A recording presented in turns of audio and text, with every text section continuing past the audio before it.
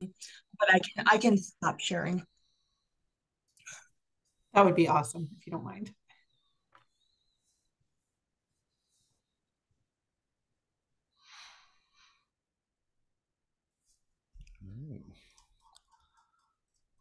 Looks like everybody's coming in now. All right.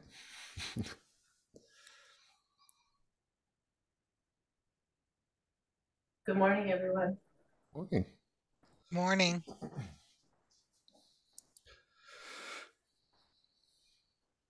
All right. Well, I guess we'll get started here. Hello, everyone, and welcome to our first session workshop and uh, today's uh, uh, first day of our conference. Uh, the workshop is entitled ETD Accessibility Defined, Designed, Reviewed, and Refined. Um, sharing this information with you is going to be Teri Green from the University of Toledo College of Graduate Studies, Kim Fleshman, Bowling Green State University's Graduate College, um, and Alison Thompson from ProQuest. Uh, my name is John Fudrow. I'm the repository librarian at the University of Pittsburgh, and I'll be your moderator for the next 100 or so, 120 or so minutes. Um, and a quick reminder that before we begin, during the presentation portion, please keep your audio and video muted.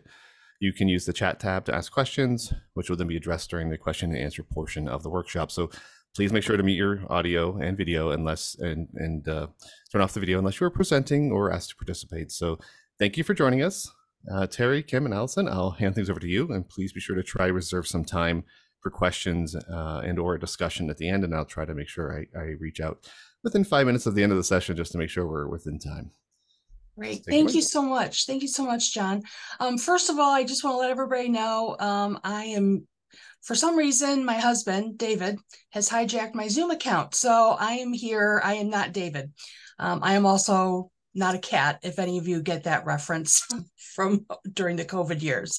Um, excuse me. I'm going to go ahead and bring up uh, my presentation. Um, and again, this is a workshop. And so there will be some, you know, covering of, you know, different concepts and philosophies, maybe defining things at the beginning, and then getting input as we look to the future.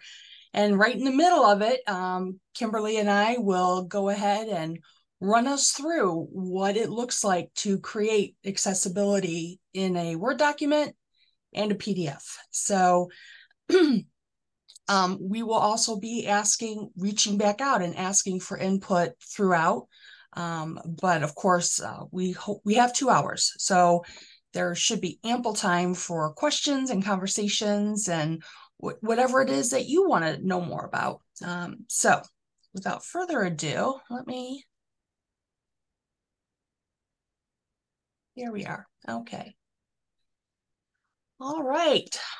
So hopefully everybody can see um, the title screen, ETD Accessibility, Defined, Designed, Reviewed, and Refined.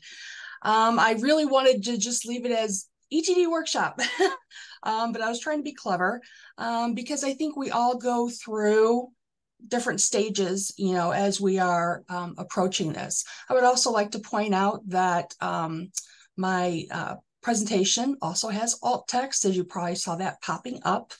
Um, so I'm Teri Green. I am with the University of Toledo. I have been with their graduate college since 2010. Um, and my role has evolved from ETD specialist to now director of academic and student affairs.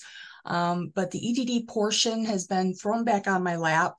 Um, but I'm also the ADA liaison and diversity liaison um, to the university for the College of Graduate Studies. So accessibility is part and parcel, right, of, of diversity, of inclusion.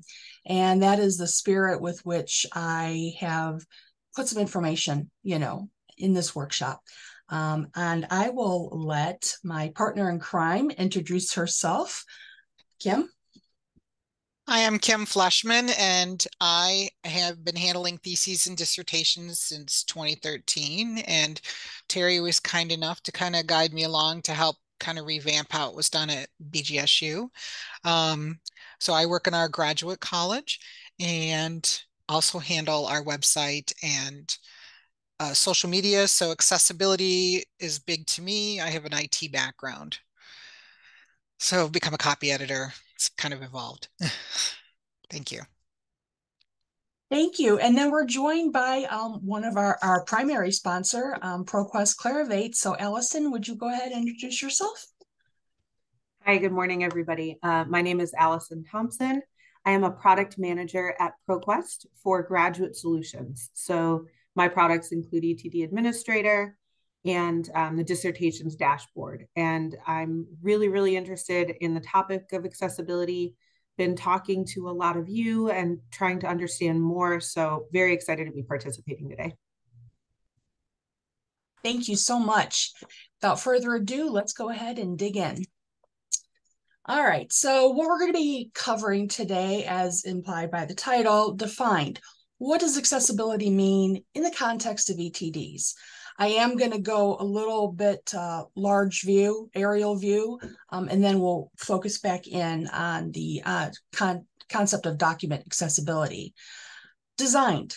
How do we build accessibility into the writing of an ETD so that we're not all stuck trying to remediate documents and really not being able to adequately put them in the proper shape that they should be? Reviewed.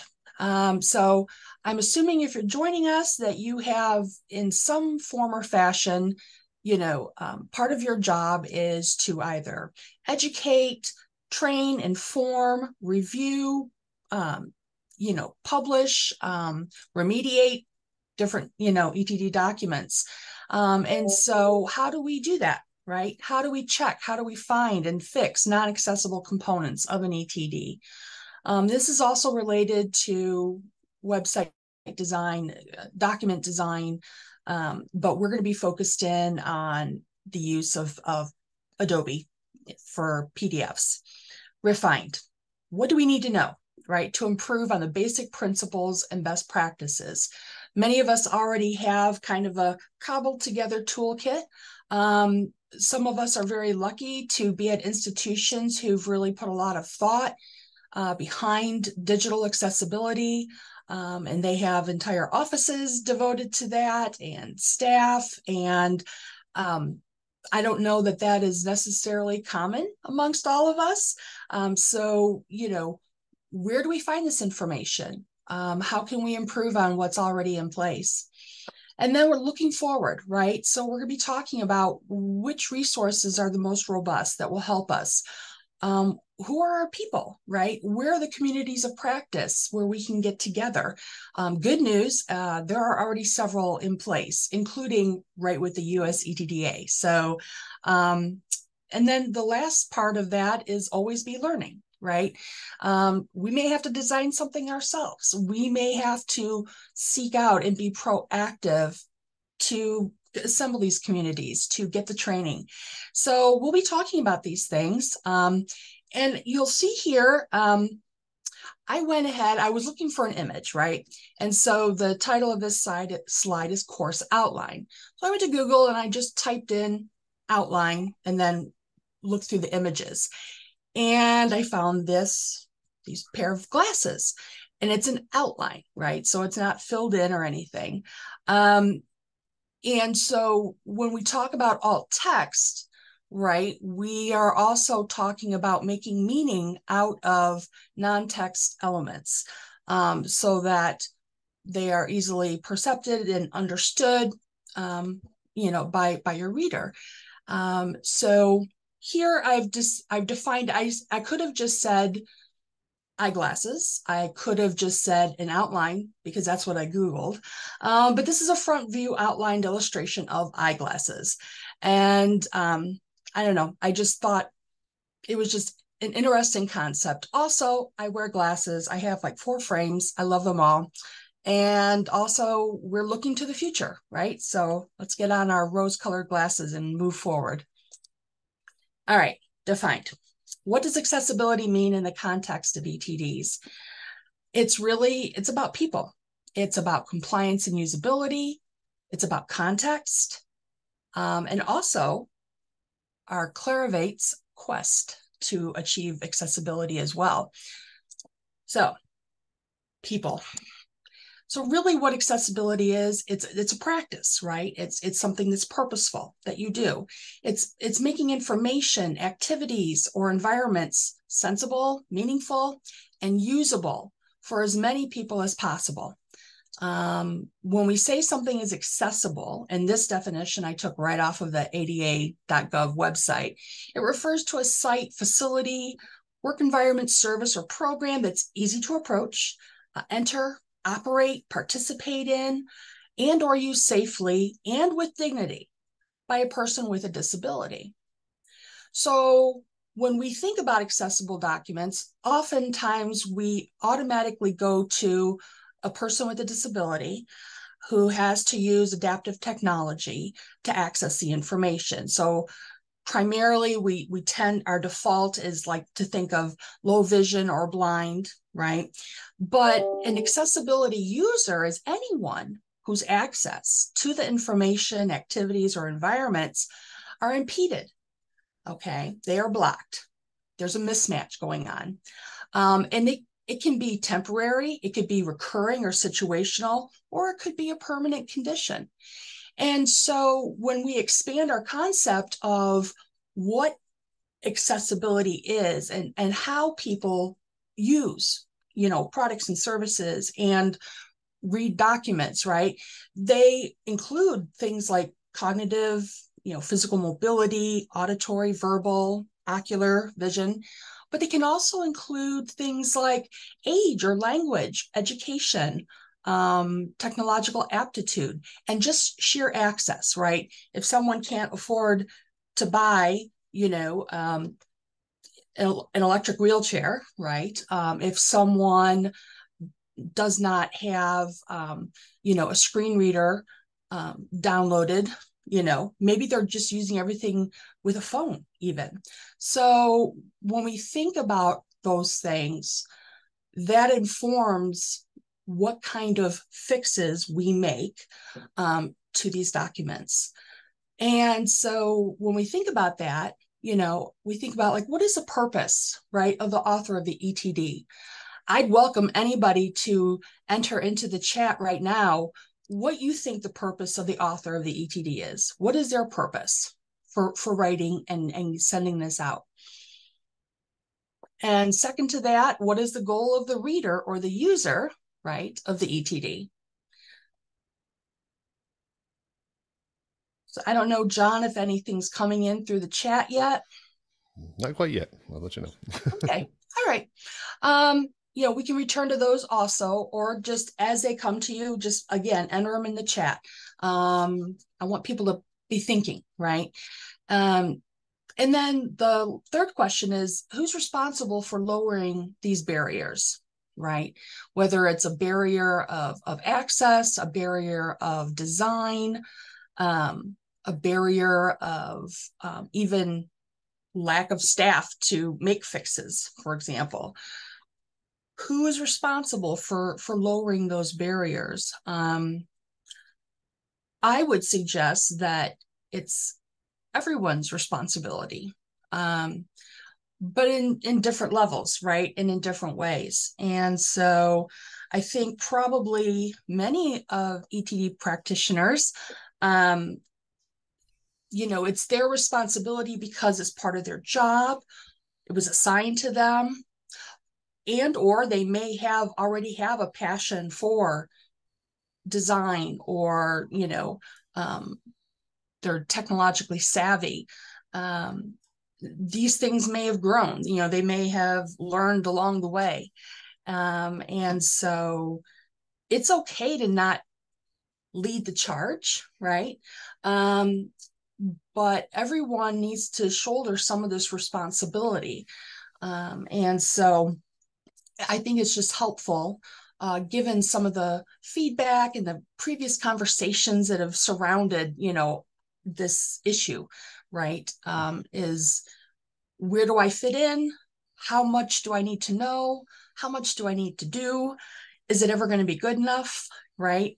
And so, um, if we're having those questions, then certainly you know our institutions may be having those questions faculty and students may be having those questions so um, you know again this is not the hands-on part of it this is more of a kind of a broader view of philosophical underpinning if you will So, So Teri, we do have several Yep. things in the chat, Jer- Teri. I- Oh, I- I was just going to yeah. start sharing with you, Teri. Yeah, there was quite a few about disseminating and sharing Oh, scholarship yeah, and their I'd love to hear creativity. it. Yes. Um, there are some of the to get their information to the public and sharing their research.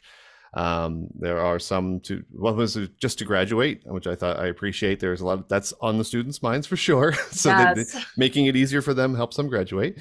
Um, and basically writing and sharing their research and future research and and uh, disseminating their their their work from the university. Um, I'm trying to see the advisor's responsibility to review content, but uploader's responsibility to make sure it's findable uh, and other back end things in that regard. So yes, that's that is true. Um, the author role is to share their understanding of the topic of the ETD and then to engage with their scholarly uh, colleagues. So yes, starting out the scholarly communication uh, role.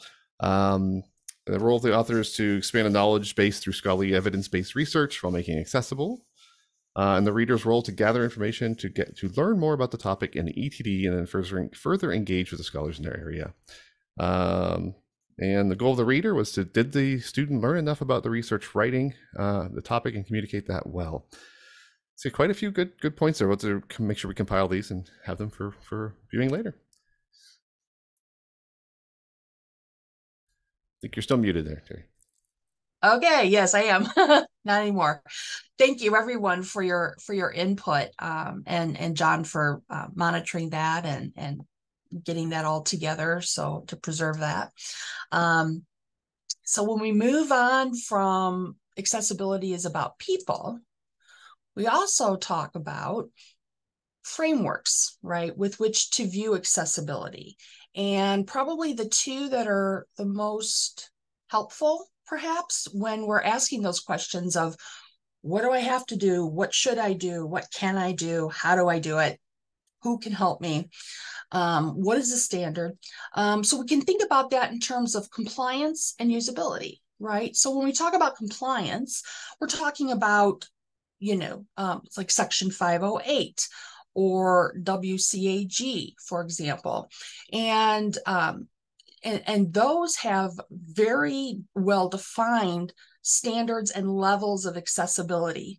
Um, and, but it can be intimidating, right, to go onto the WCAG site and and look through and try and decipher, you know, well, am I, you know, A compliance? Am I triple A compliance? Um, you know, is this um, for whatever purpose? Um, but if we understand the basic tenets of that compliance, and that compliance is often built into you know your universities for example or governments um, government websites for example it's built in as a standard or you know even you know these are the standards we have to meet to be in compliance to be um, you know to be legal um, and so, but that is a kind of a shifting boundary right there there isn't just one size fits all hard and fast rules um, you know I mean, there are hard and fast rules, but they don't necessarily apply in every situation or for every context. And so we talk about usability, right? So compliance doesn't necessarily mean that it's usable. And I discovered this when I fell down the rabbit hole of color contrast and the use of color that is accessible. Um, and it's a rabbit hole, but it's fascinating. And I learned about things like luminance and vibration of colors. And so, what may technically be a, a good ratio of contrast, you know, uh, blue on white or, or uh, white on black, for example, it may be if if it's a particular color that has a high vibration, it can appear, you know, it can pass the test but it can appear to just the average user to you know it would it would mesh with your eyes. You know you wouldn't be able to really clearly distinguish you know sharp outlines. Um so just because it's compliant doesn't necessarily mean that it's usable by as many people as possible um, and not everybody is using for example a screen reader right so we're also when we're talking about usability, we're talking about I have practically trifocals at this point, and I'm in front of a screen. Uh, is my screen too bright? Is is there glare? Am I having trouble seeing? Um, my eyes don't bounce back and forth anymore like they used to because I'm approaching 60 years old. So um, I don't have that same physical capacity to apprehend and comprehend, you know, the printed word in, in the same way I was I did when I was 30. So there is no such thing though as 100% accessibility. And I say that because, and this is somewhat anecdotal, but when I first started as an ETD specialist, this was all very new to me. And in terms of like formatting and reviewing, and I was a perfectionist, detail oriented, and it took months to like pull myself out of that and understand that perfection is not achievable. Um, that, you know, it, it really, at the end of the day, it kind of doesn't matter if your if your copyright page is supposed to not have a page number but it does you know a, a worse problem is that there are no page numbers right? And so i think um, many of us who work in that in this realm um, have this need to fix things and make things right and make things perfect if you will um, and you'll never achieve that and so i think kind of stepping back and looking at you know easier pathways right? Um, and, and that's what I'm going to talk about next. Context, right? Let's let's put it all let's put it all into in the right context. So if if a document's accessibility is so varied, right? Someone's using a screen reader, someone has, you know, triple bifocal, you know, someone else is, um, you know, maybe they um, have dexterity or mobility issues and they have to use their eyes you know to move a cursor all these all these different ways of interacting and so how do you create that document that meets the needs that that allows all these different types of access to occur um, basically you need to approach it as accessible in context, right? So you're going to apply design decisions that are responsive to the document's intended user, right? And the conditions of in access that they face. So if one issue is, um, you know, there are people that are going to be using screen readers, then you focus on things like you know, heading levels and bookmarks and proper tagging. Um, if you have someone who uh, may have dyslexia, well, then maybe you look at what kind of font is being used. Um, years ago, I received a dissertation written in Comic Sans, and I made a huge joke out of it. Like I was like, "What? What is going on?" Right? It didn't look important and stately and it wasn't in Times New Roman. Well, I have subsequently found out that Comic Sans, um, in addition to a few other specialty fonts, is actually very, very readable by users with dyslexia. And it's because of the individual unique shape of each character. Um, and so it's about just talking about and, and deciding what is more important the look of something or we've always done it that way or hey we could have someone with dyslexia who really needs to know more you know about this research. And if you're going to throw up these barriers you know um, that don't need to be there then maybe the research gets overlooked right?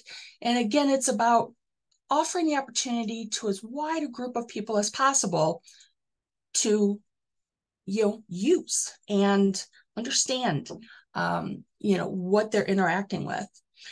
So you know if if really if you can ensure that the file does not break any of the stated compliance rules for that document type and then you can also you know um, think about the design of it in the first place um, to avoid having to remediate, then really that's a great framework to work within, right?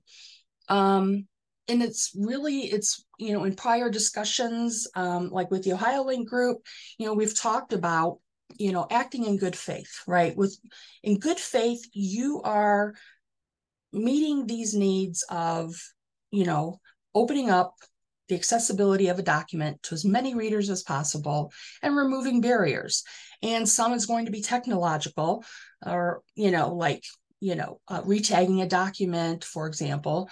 Others might be more design oriented. So, are how is it organized? Is it organized in a way that I could, just as a user without adaptive technology, tab to where I want to go, specifically select a portion of a document that I want to look at? Um, is everything linked together? So, my best uh, advice would be to just stay informed on your school's standards and guidelines and operate within that and focus on that. Um, so, any questions or comments?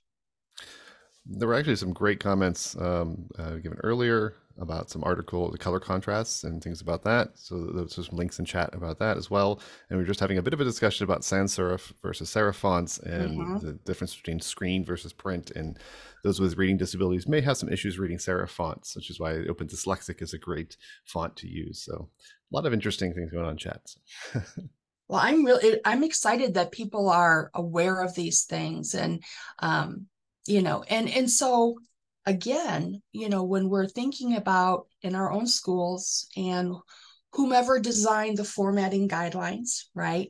Um, and who has the authority to change them? Um, you know, those are the types of things that we should also think about you know um, but the but the middle part of this is is going to be focused on kind of the technical issues right of word and and pdf But before we get to that, um, I'm going to stop sharing and we are going to have Alison uh, join us here. And she has, I guess she has uh, some different slides. So let me see here. How can I? I'm sorry. Talk about technically savvy.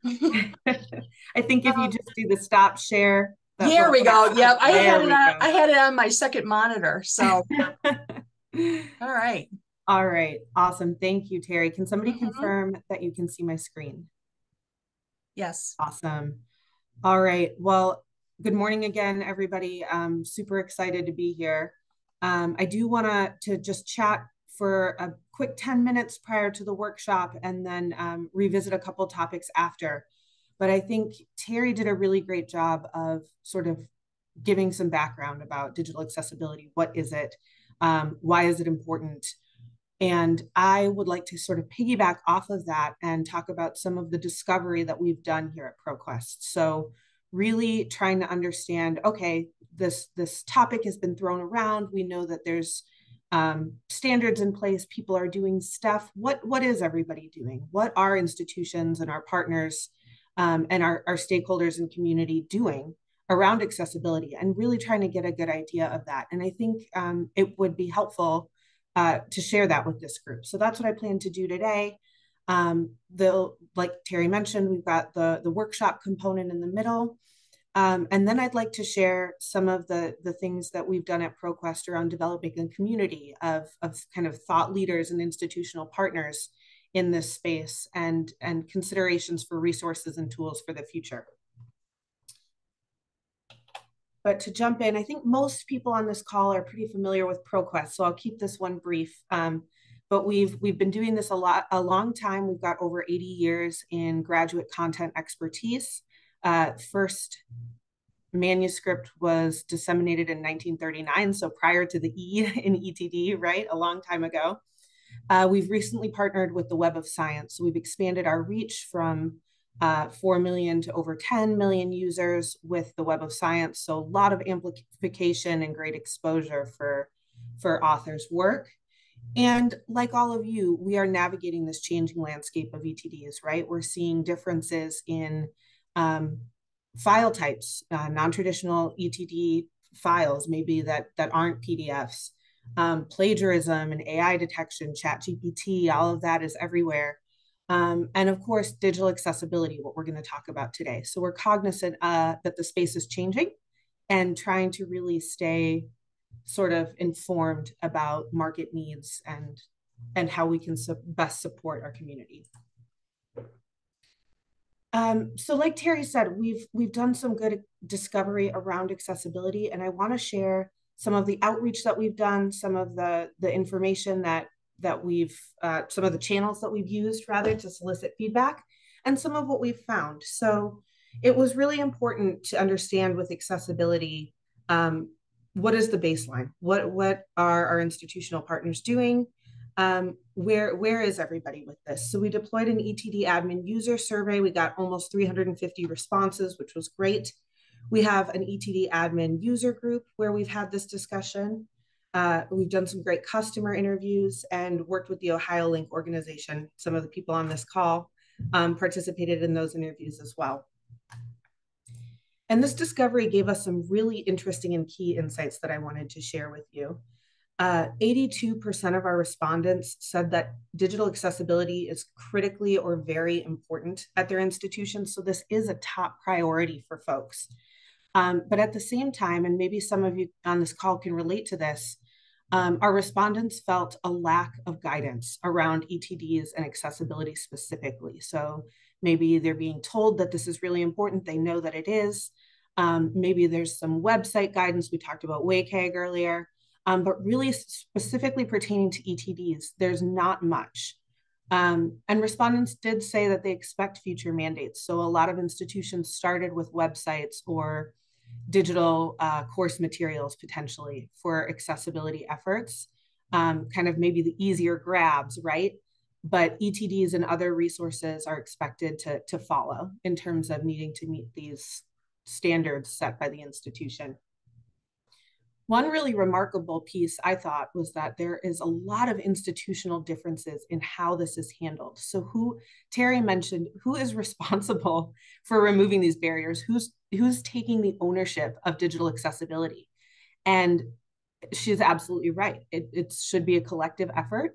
But what I've seen in our discovery is that it's sort of falling to um, wherever there's space. So maybe that's in IT, maybe that's Office of Accessibility, maybe that's the library. It really varies widely by institution. And typically, you're all in higher education, so this likely will not surprise you.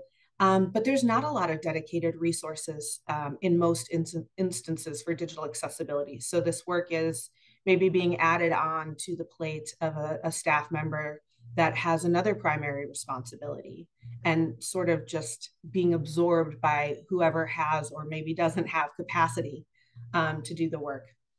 And finally, we see a big training and equipment gap. So um, we're going to talk about some resources today. There are things out there, um, but one common denominator that we heard is some of the existing uh, tools have have cost barriers. They're cost prohibitive or there's a level of sort of user savviness that they um, you know really need somebody well trained and well versed in digital accessibility um, to get the most out of this tool. And some of the interview takeaways i thought were really um, important and, and things i'd like to share with you. We talked about um, erratic solutions right? So typically or, or frequently the etd uh, writing to review to publication process is really decentralized. And so different processes and kind of capacity constraints means this work will fall to kind of whoever can do it, um, whether that maybe makes the most sense strategically or not. Institutions are finding it's very difficult to um, enforce any kind of student participation. And I get it, right? I mean, these are graduate students, they're under a ton of pressure. They're at a very, very busy time in their career, their academic career. Um, and, and is it the right thing to do to delay graduation or, or put up barriers um, if they can't get there with accessibility standards? Uh, often a lack of expertise came up in these interviews. So folks felt like they were charged with doing this work where maybe they weren't completely qualified or educated in that space. Um, and the threat of lawsuits came up again and again. So when we talk about reasons for doing this work, of course, um, people want to support all different types of learners. It's the right thing to do. Um, the student affairs professionals I spoke with were very, very much in that place. But there was this looming concern of risk to the institution. And as am I, as the person now responsible for digital accessibility, am I doing enough to protect us? And that was um, uh, really a, a heavy weight on some of these folks that I spoke with. And I think this quote really illustrates uh, sort of the, the challenges unique to ETDs and digital accessibility. Um, this individual said the highly complex and technical writing of many dissertations can make it especially challenging to ensure accessibility. I think anybody on this call that's tried to do this work with an ETD can relate. Uh, even if a staff member can review and flag compliance issues, it's highly burdensome to ask a student author to revise a dissertation that may have many hundreds of pages, complex charts, plots, and graphics. It requires detailed technical and disciplinary knowledge. So not a quick and easy win in, in most instances. And likewise, hearing kind of from some of our content partners, I think this feedback really illustrates the need for um, more research in, in digital accessibility and uh, the opportunity for ProQuest to really provide some partnership and some resources. Um, because you can kind of sense and hear the frustration uh, that, that the folks doing this work are, are feeling. So we have guidelines for accessibility for websites and other platforms. PDFs and ETDs are unique, and there's significant barriers to enacting requirements around them. This is something that we hope to do in the future. We did a big push for accessibility compliance. It was thrown at us regular staff, those who have no expertise in web design. Parsing through the web accessibility boot camps they had us attend was incredibly challenging. PDF remediation, though, was next to impossible, and we resorted to removing PDFs entirely. Uh, and lastly, we value accessibility, but requiring accessibility and checking for it would add a lot to our workload and slow our turnaround times for approving materials. Many of our students have limited experience with document formatting and may not be able to afford additional software. And so I think uh, you can kind of see the, the context here is we know that this work is important. We know it's valuable. We know it benefits and supports our, our learners with diverse needs. Um, but how can we get there? And and that's um, something I'm going to talk about a little bit more at the end of the discussion after our workshop. So um, Teri, I will throw it back over to you. Thank you so much. Um, I was just looking here at the chat as well. So um, one user said you won't use PDF in the future. Um, so is that a prediction that we will move away from PDFs entirely or um, is there an alternative? Just curious. Feel free to put your comments, continue to putting your comments in the um, in the chat. Excuse me. Whoops. Okay. I almost logged out of the meeting. Okay. I Speaking of things I can't even see on my own large screen. okay, so let me go back to sharing my presentation. And I'm gonna um,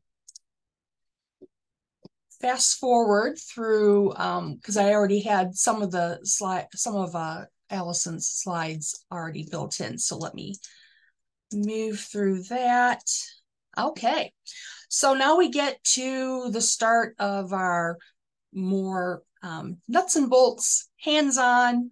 Um, and uh, really, when I was asked to offer this workshop, uh, June 28th, um, I immediately turned to Kim to help me with this. Um, she may have come to Toledo for some initial training, but she has a much more robust you know background in IT and technical writing and um, she was running a a sort of a uh, I can't even remember now, Kim. Can you describe that that lab that you used to run? so it originally was the Student Technology Center, and then it became the Collab Lab.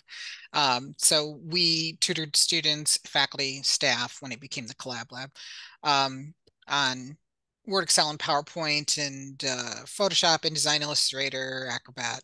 Um, web software, video software, uh, 3D software, um, and several other programs. So. Thank you. Yes. So, you know, the um, master now becomes a student. so, um, you know, Kim is going to be, I think, uh, doing the heavier lift as we move into away from Word and and into PDFs and uh, a little bit more tricky um, solutions. So, how do we build accessibility into the writing of an ETD? Well, we need to think about what is your source document? What are you going to author in? Um, do they have built-in tools and are you using them? Do you know that you can use them? Um, did you know that you can check accessibility as you're working? So I think, um, you know, one of the comments earlier remarked on how a student just needs to graduate, right? They they're doing this because they need their degree, and that's uh, very accurate for many of them. It may not be their sole reason, but they have not prepared all along in terms of being familiar with authoring software, with you know um, organizing a document, and so for many, if not most the formatting right is is a is the last flaming hoop that they have to jump through. And so they've already even if they've used a template they've probably corrupted it you know and, and they have created something that is just kind of a tangled mess. And then so you know now with accessibility thrown into the mix that's just additional undoing of things that could have been done better from the start.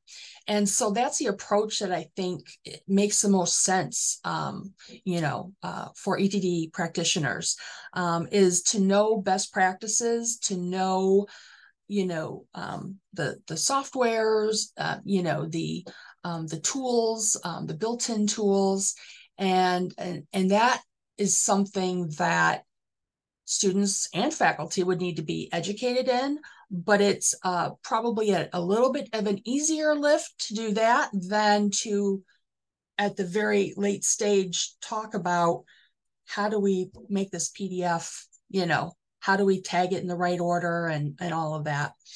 So in the beginning there was word right? So i know there are a lot of different you know there's there's open source programs there's you know google docs um, you know, um, and of course there is Microsoft Office Word, right, or Word for Microsoft uh, 365. And the reason I'm focusing on this is because it's pretty much broadly accessible through schools, right? Whether it's a free license for like downloading onto devices. I know at U we can download it. Our students can download it up to onto up to five devices, for example. Um, or it might be a cloud-based service where they're, you know, um, they access it through, you know, their um, SSO sign-on. Um, it may be um, part of um, machines in computer labs. but the whole point is that it is very widely used and is almost always free to the student. Um, and Microsoft themselves have really made tremendous strides towards improving the accessibility for the user and the product. Um, so it's accompanied by a wealth of best practices, step-by-step instructions, and the, those instructions are presented in very easily navigable and understandable formats on their Office accessibility website. Um, you can also use the help button, right? Um, and it will take you to you know specific tutorials. I find those a little um, hmm, sometimes they're a little hard to understand.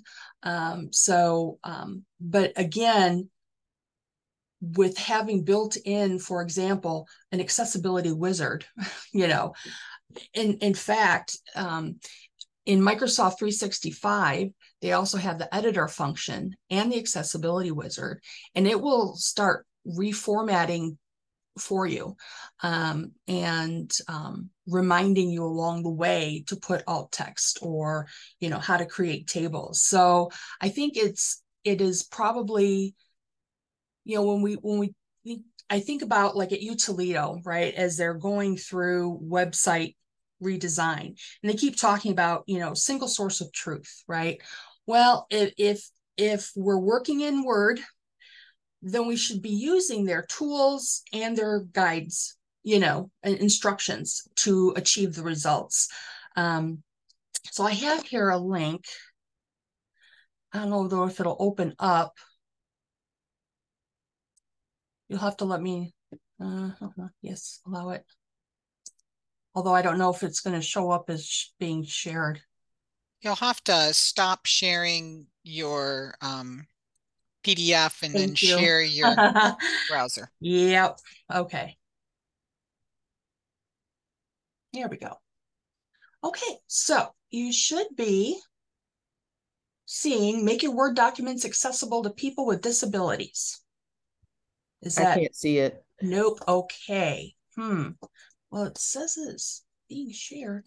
Oh no, I didn't. I didn't click share. I'm so sorry. That's okay. I can see it can see Okay. it. Thanks. Great. And that's just another little thing, right? The fewer buttons you have to click to accomplish something, that's accessibility, right? I mean, you know, if you've if you've moved things around and you don't know, you know, where you put them. Um, but anyway, so make your Word documents accessible to people with disabilities. So this is part of their office accessibility, you know, um, I don't want to call it a line, but their their their division. Um, and right here, it talks about best practices, how to check your accessibility uh, while you work in Word, um, avoid using tables, use built-in titles, subtitles, and heading styles, um, use alt text for visuals, use accessible font format and color, create accessible lists. I mean, the list goes on, right? And so they give very, they give a, kind of a checklist so you could kind of do it manually. Um, you could set it right out in the front and be like, I'm this, these are the, these are the five things I'm going to focus on, right? I'm going to focus on document structure, um, headings, um, bookmarks, alt text and tables, right? Um, your your school may be asking for more um, but this is a very good place to start and will go a long ways towards removing common barriers. Um, so anyway i will stop sharing that. And i will go back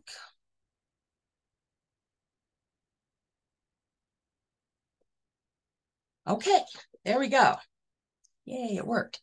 Okay so, um, so for these reasons, this is why I am suggesting that you promote the most accessible, easily, you know, or ubiquitous authoring program that you can to your students, whether you're creating templates for them or providing instructions for how they can set up their own document and use the tools.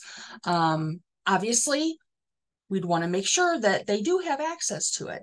But a lot of students, um, they don't really don't necessarily have experience. So um, I received a an ETD um, couple about a month ago, and it was composed in Google Docs, but they did not use Google Doc accessibility tools, and it, it there was no formatting. It was um, I didn't even know what to do with it. Now, luckily, okay, it was at the format review stage, and it was an early one, so I wound up sending her our template, which is a Word template, but I also just put her content into the template and sent that to her as well and suggested that she should continue drafting within the template. Um, and it it really it made a difference. you know, her committee was amazed that they that now it had structure and it was you know easy to follow um, they could identify gaps you know um, in the research or how she explained things that they were able to focus in on because they weren't distracted by disorganization and lack of formatting um,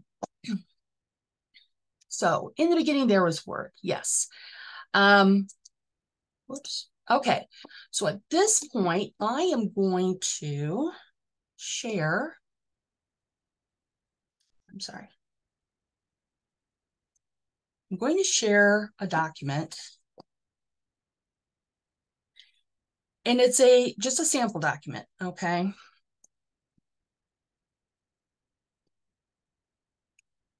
Okay, I'm sorry. Hold on a second. Where did my There we go. Okay. All right. So um, this is a sample thesis, okay? Very minimal. Um, and I, I'm going to kind of scroll through it a little bit. And I would like for folks to put in the chat if they kind of see anything that could possibly be wrong with it, that could potentially not be accessible. And again, this is in the Word version. I'm going to reduce this just a little bit. Okay. All right. Can everybody still see it? Okay, good. We had a couple responses about the font. Okay, like what? Uh, one person said serif font, other person just said font. Um, I'd like to say there's no styles included on the page other than normal, so bookmarks are probably not going to be created when converted to a PDF. Yeah.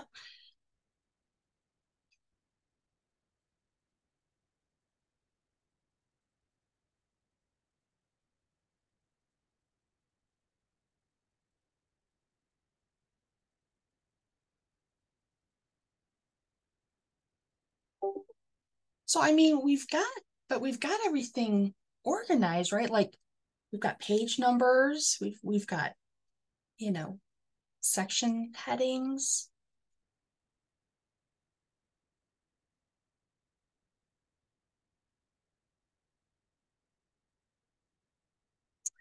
Let me do this. Let me turn on the formatting.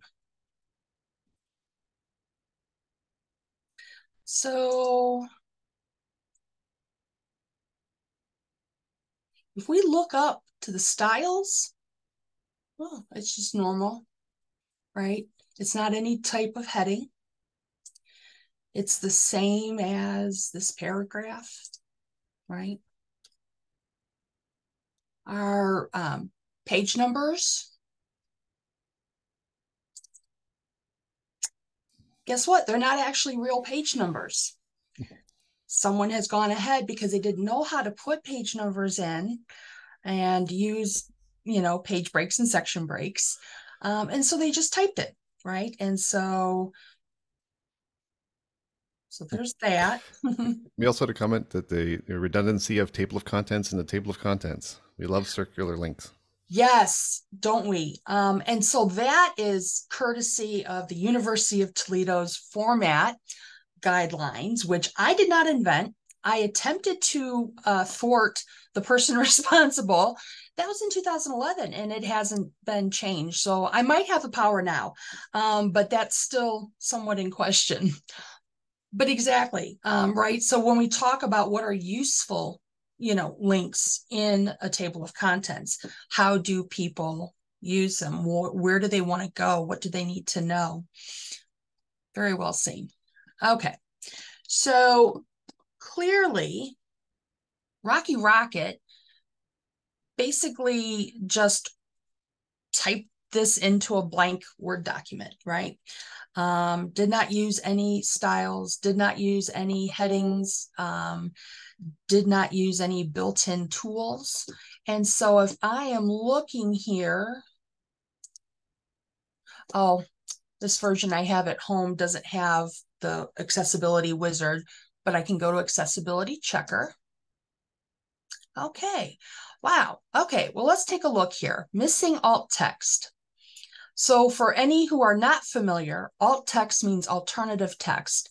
It is a way to um, describe the action or purpose of non-text illustrative material.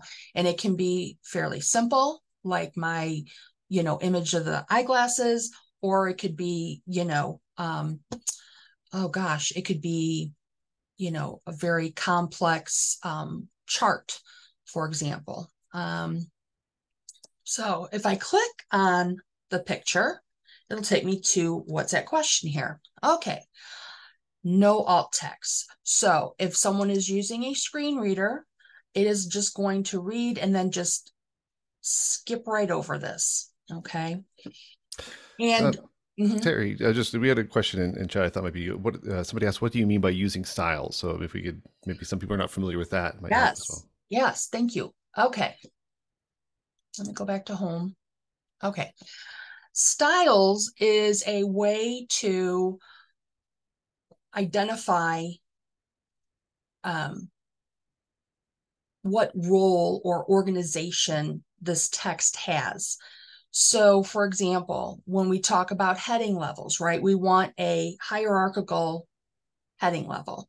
And so a heading one should be reserved for like the title of your document. Whereas a heading two, for example, would be used repeatedly for every level two heading. So in something like, we'll just pretend that each chapter is its own title, right? Its own discrete unit. So if I wanted this to be um, appear in a table of contents and also be able to be navigated to immediately, I can highlight it and I can click on heading one. Okay, I'm going to turn this off. You see these little little arrows there, okay? And so if I click on this, it is now a heading one. It is what it's labeled as. Well, so then we want, so then the next level, right, we have several sections, um, subsections. So, um, and they are identified with the chapter and then the order of appearance. So we have, for example, the first subsection is permanent disability, section 2.1. I can create a numbering system. I can also go to heading two.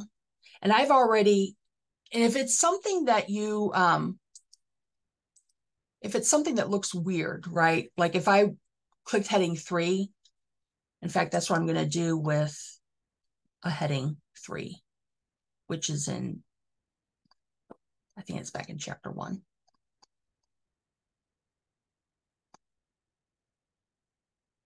There we go.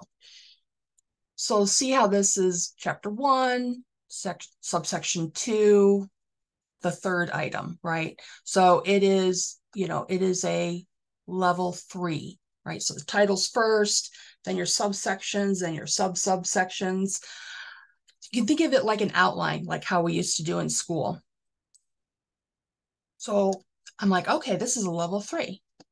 Well, if I go to heading three, well, this is already pre-programmed, right? But it doesn't have to stay that way. I can right click and I can update this heading to match the selection, or I can go to modify and put in what I want it to look like. Um, in this case, I, it it looks like what I wanted. It has the font and the size and the boldness and everything that I already want. So in this case, I'm going to right click and just say update heading three to match selection. This is now a heading three. And I can click on that and since it was already updated, I can just continue assigning that heading level. So um, now, interestingly enough, this accessibility checker doesn't check for the use of headings or styles per se. Um, it is identifying, how, however, missing alt text um, and the lack of a header row for a table. So I'm going to go back to that picture. Okay. All right. So if I right click, and again, depending on what which version you know of, of Word you're using, or if you're using it like online in a cloud, you may find these items in different locations. If you can't find them, then do what I did, which is tell me what you want to do. And I put an accessibility checker and it, you know, popped it right in for me. So if you go down to format picture, you click on this little funny thing, layout and properties, you can put in your alt text. Okay. Um, and this is new for me. I had never really thought about a title for alt text. And so I I'm, I hover over the information button. Um, and it says a title can be read to a person with a disability, and it's used to determine whether they wish to hear the description of the content. Similar to a, any title that you use for, you know, a paper, um, similar to the function of an abstract, um, similar to what is being listed in a content or table of contents. Um, so, you know, if, if you are not really providing robust titles for like your chapters, for example, or explanatory titles, um, and and people don't know even what you're going to be talking about, they may just skip right over it. So here, I'm just going to put in um, the title of, and I could just use the the the label or the caption examples of sight disabilities. Teri, there was a question earlier that relates to this that said, could the figure or table captions below the figure or table be substituted for alt text? I'm sorry, could you repeat that? Sure. Um, the question was, uh, where, where'd it go? Could the table or figure captions uh, be substituted for alt text?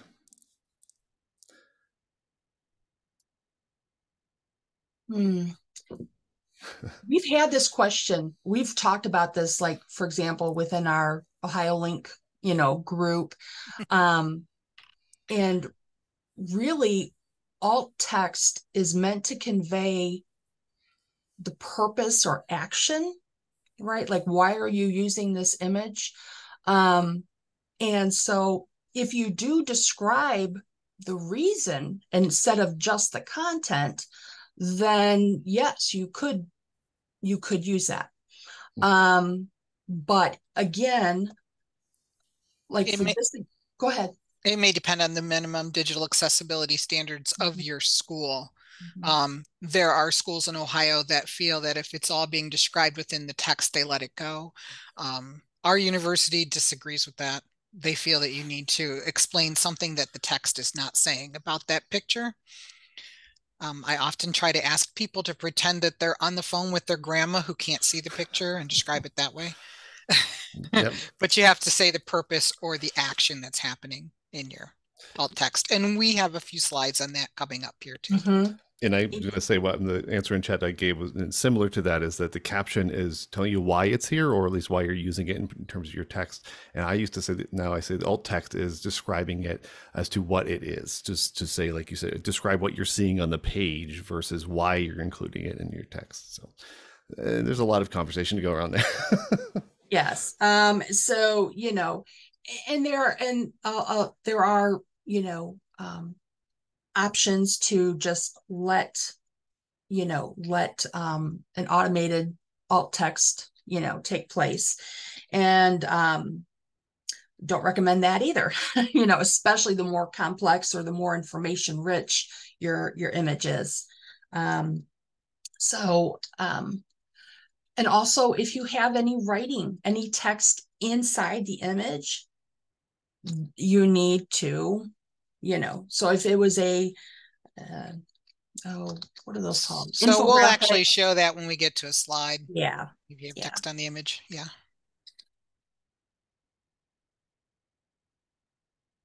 This is not a good alt text. I'm just going to tell you that right now right? Three stick figures. Okay I'm done. So that's not really good.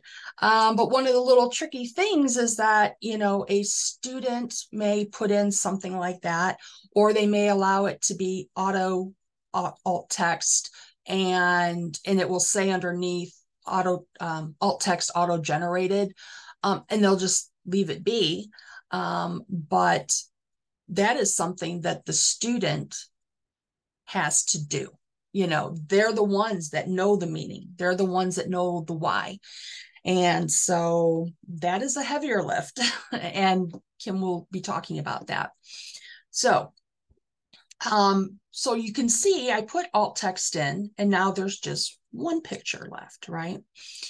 And if we go to no header row specified and we go to the table, okay, this would be the header row. I also want to comment just briefly on the idea of making tables um, hmm, readable.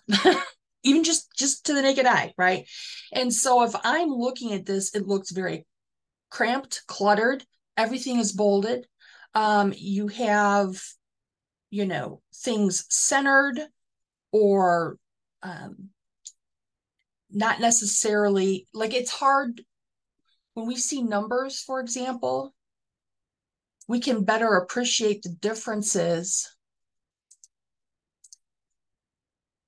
if they are right justified, right? It's easier because of how we read numbers, right? Um, whereas how we read text, now that doesn't look, it's harder, it's harder for us to focus on, you know, the A, B, C, etc. So um, if something is centered and everything is consistently the same number of characters, that could be okay, right? That could be okay. But if if the information varies, right, in in number of characters, then you're not going to want to center it. Because I mean, look at this, right? If we center it. Ah, okay. And everything's everything's bold and it's all in um, Times New Roman. Um, so when we talk about accessible it's it's more than just do we have a, a header row you know identified um it is also just for the just for the um, ability to easily read and comprehend the information right so think about how much better this looks if we just use calibri right and if we pay attention to how we read, okay, I can see now AAA, right? It's, it's easier. Um, I can't tell how many zeros off we are. So now I can see anything that extends over, it's a larger number, right?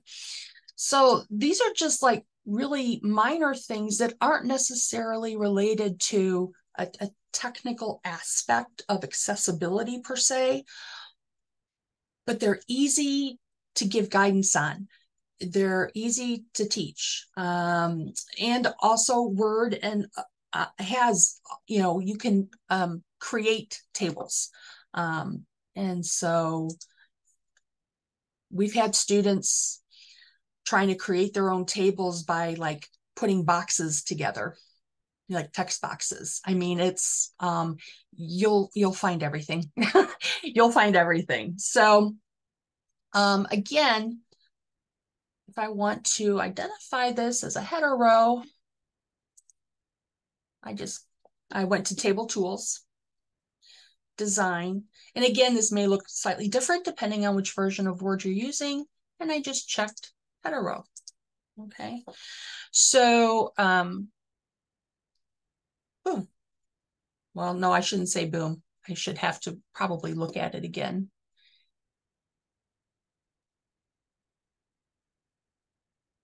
Okay, well, it's still showing. So that's just one of the weird quirks. I don't know what to tell you about that. So let me stop share that. Now I'm going to share the PDF version of that. Well, actually, no, I'm not. I'm going to go to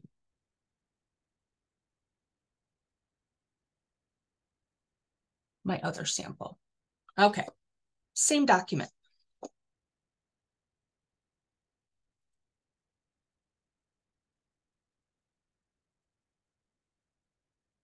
Looks very similar, right? Just just to look at it, and and a lot of of a lot of students, a lot of people actually, you know, they are trying to mimic the format or the look of of of an article or you know a book or whatever. And so or even a template that's out there.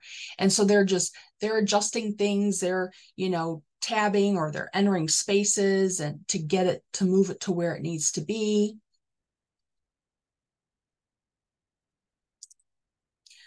look we have page numbers in the actual footer that's an actual page number Oops. I was able to insert a table of contents because I used the styles and the headings. And so, so for example, I could update the table. Let's say I changed something and I wanted just to update the page numbers only. I could do that. Everything's still the same. You notice how um, in the first version, everything was um, left, you know, left justified. Well, this goes a step further. Not only is it a heading level, but it's also indented so that you can easily and immediately see the hierarchy, okay?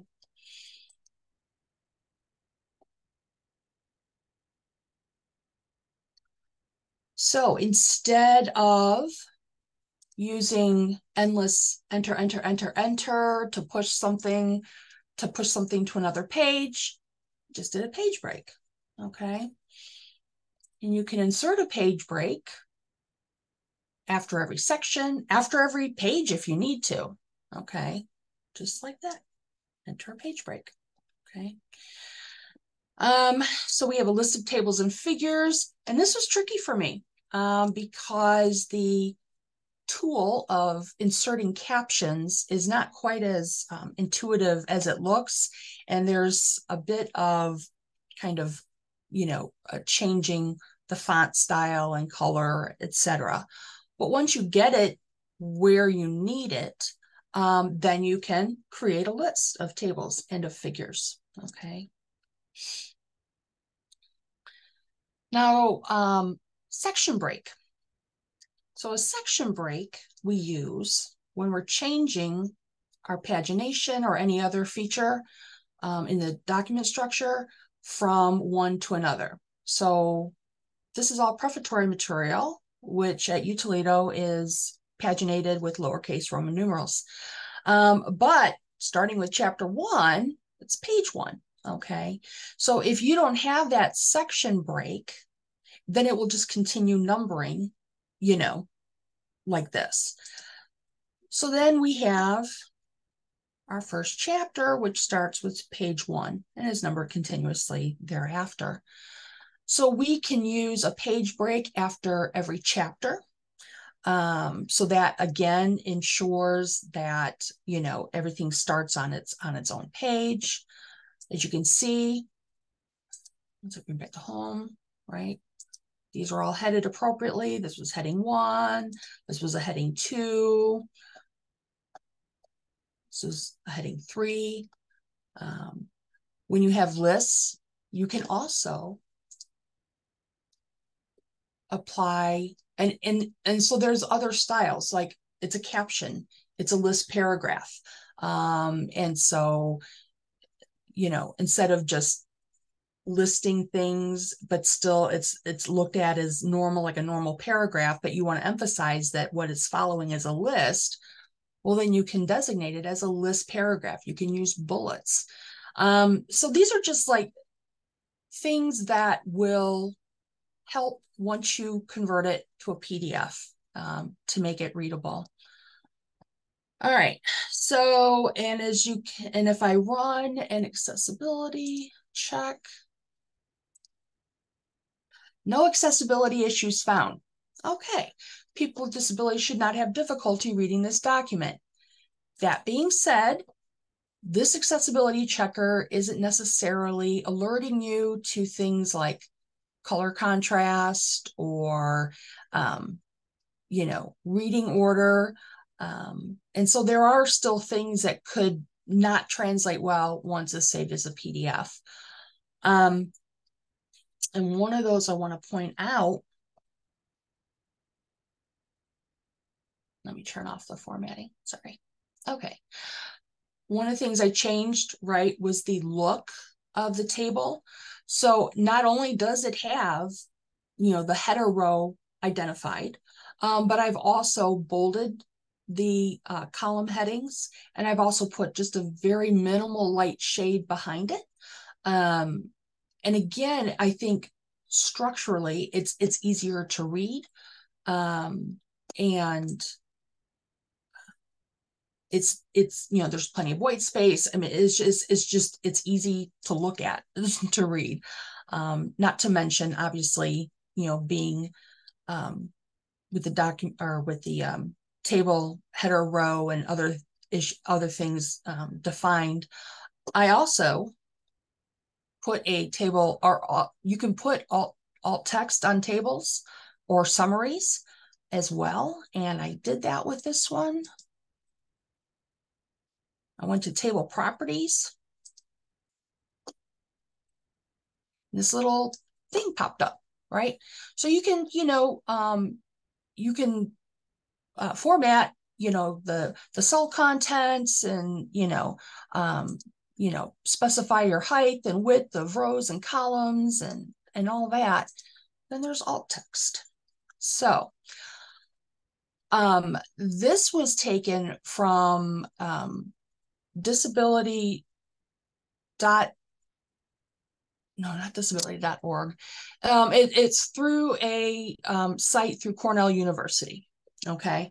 And they provided the output of this um, database search um, in three different ways. So that's another thing to consider is is there only one way to access this information? They presented a written summary. They also had a map of because this is you know this table is much longer. Obviously it had all the states on it. Um, but they presented it as a map that was interactive and they also presented it as a table. Um, and so um, again i took their written description and used it as alt text or table summary. Um, and that is helpful right? Um, because it's really talking about what you want to focus on. Like, what are you, what, what is the point of putting all this data? What do you want the reader to take from that? And using an alt text or a table summary can help. Um, so, okay. Um, small things like like hyperlinks. Okay. So we have at UToledo, you know, all text must be in black or automatic. Um, and links, hyperlinks uh, should not be in color. They should be in black. Well, if you do that and you don't underline it, nobody's going to know necessarily that it's a link. So, you know, one of the things you can do, and it's a, again, it's a small lift, is just make sure that all links are underlined. Um, they're helpful also for people, especially if it's in color, okay? Um, because it's underlined, it's a cue for someone who may have low vision that that is a link, you know? So um, again, I, I my goal with this was to hopefully share some takeaways. You know, if you could take one thing back to your school that you can start using or use better um, or pay attention to, um, you know, using you know the software and and so forth the tools that are available to you then this will be a success um, so i am going to close out of this.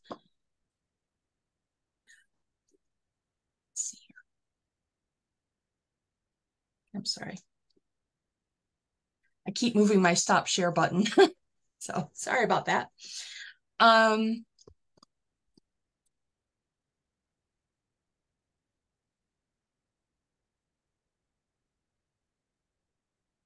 Okay, back to the workshop. All right, so that was my spiel about Word. Um, I hope people have been commenting or there's questions. Um, I, I'd like to make sure that Kim has enough time to do the heavier lift with the PDF, um, but just keep them coming. Um, so we move on now to reviewed, right? So my part was more on how can we design to you know remediate in advance right to prevent the need for excessive remediation.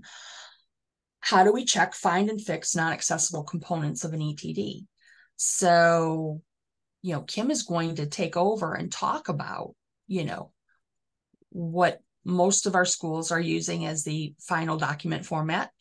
Um, how to use an accessibility checker, what you can and can't do. And so I am not calling Kim a house elf, okay? Um, but I yes, I went on to corny Adobe jokes, and mm. there is an actual site for that. So I was I was very gratified. Um, so Kim, I don't know if you want to kind of take it over from here and then share the the PDFs that I sent you? Yes, sure. Okay. You need to stop sharing. Sorry. Uh yes. Okay. Um, I just didn't know if you wanted to. Oh, you already have this as well. Okay. Yes. okay. Because I sent it in the timely fashion of like 8:39. So stop share. No, I actually I think it was 9:39. All right, stop share. There we go. And I will mute myself and let our expert house elf take over. okay, so um, does everyone see the refined screen? Great. Um, we're going to talk a little bit about the technology, the training, and the teamwork involved in making one of these documents accessible. One of the first things that I wanted to go over is just talking about alt text and how alt text works. I uh, have taken this information from the Social Security Administration's handbook and have found it very helpful when I'm teaching students about making their thesis or dissertation accessible.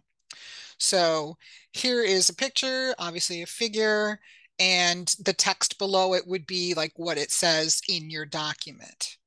But giving you a moment to read that, I'll go on to the next slide to talk about what the alt text should be.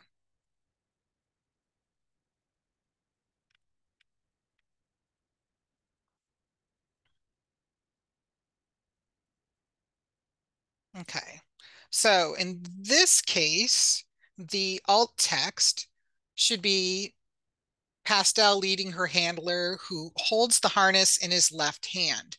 And the reason that guide dog and man really isn't the best alt text is um, this picture uh, displays an action with the dog guiding the human. Um, the second choice provides a very static description and therefore the first choice would be the best example for alternate text. Here I'm showing a bar graph that you can look over for a moment. And then we'll talk about the alt text for this bar graph.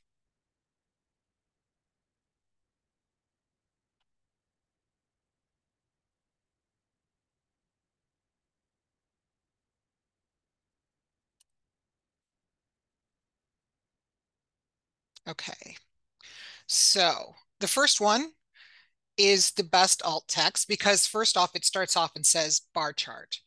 uh, more than likely in the information that's in the document about this particular figure, someone isn't going to say, this is a bar chart about blah, blah, blah, or this is a scatter plot, or this is a line graph, right? A pie graph. So the first thing you want to say is the type of chart that it is, or graph that it is.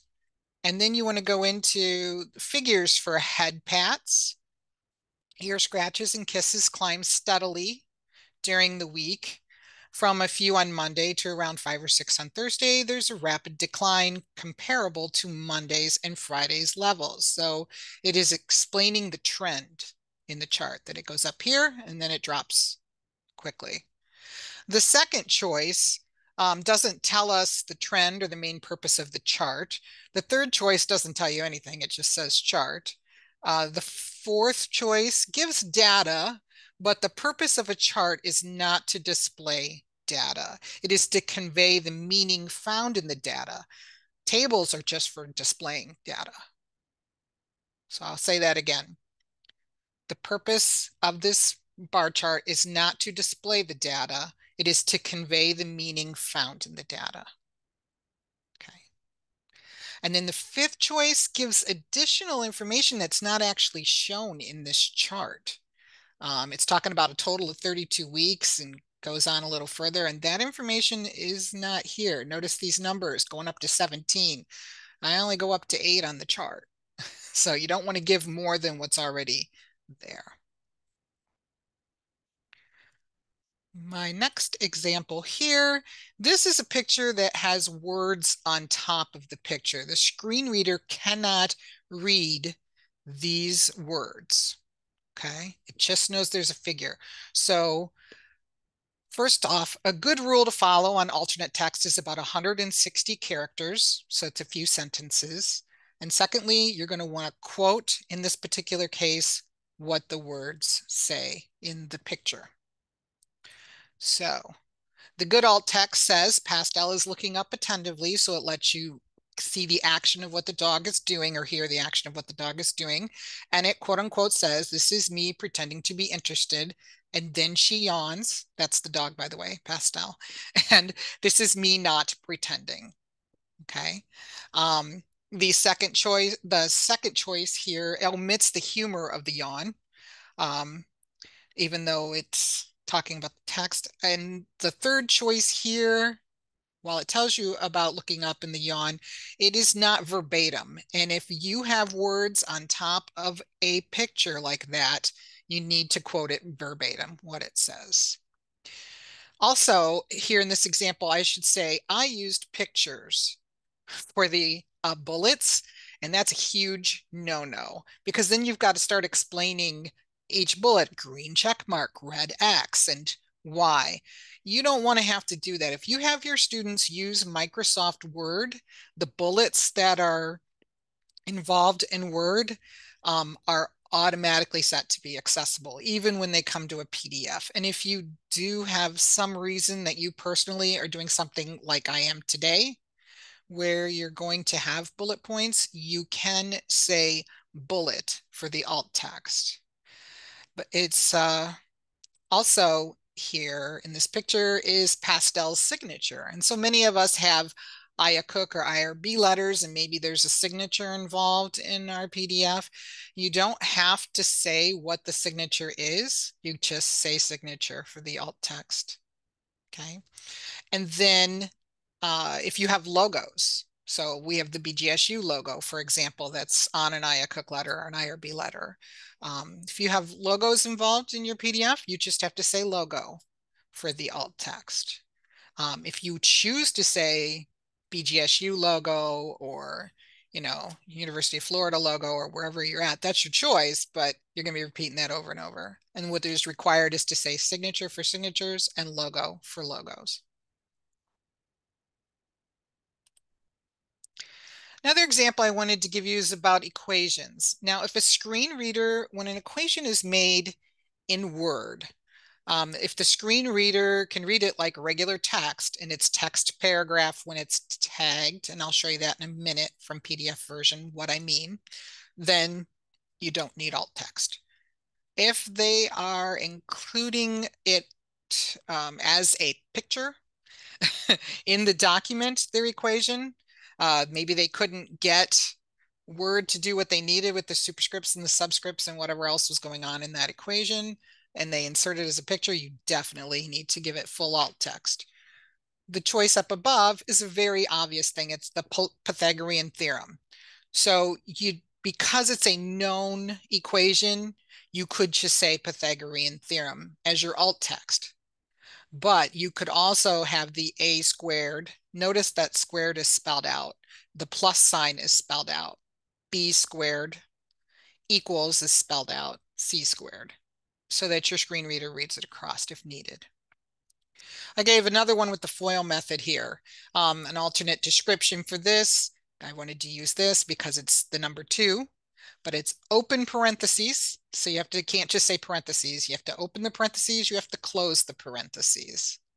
So two open parentheses for y plus spelled out one, close parentheses equals 3y in this particular case. Now, I don't want those of you who are using LaTeX to, to freak out about the constant equations you're going to see, because generally those equations can be read by the text editor when it comes into PDF.